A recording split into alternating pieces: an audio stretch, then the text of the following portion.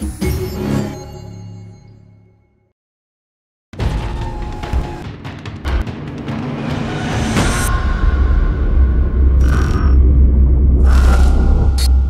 in episode three, Holden and Stevie erupt this sort of very aggressive argument towards each other.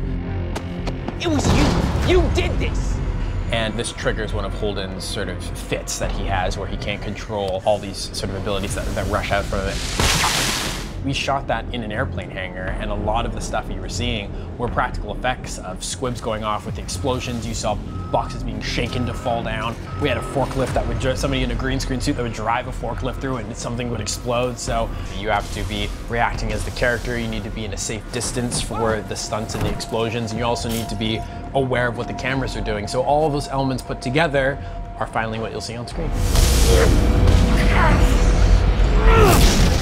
a really cool crane shot where it pulled out in between these desks and we had these six or seven foot explosions on all the desks and me and uh, Stevie were there reacting and the propeller, we had a visual representation on the day but obviously it didn't come spinning towards us so uh, that'll be really cool to see at the end.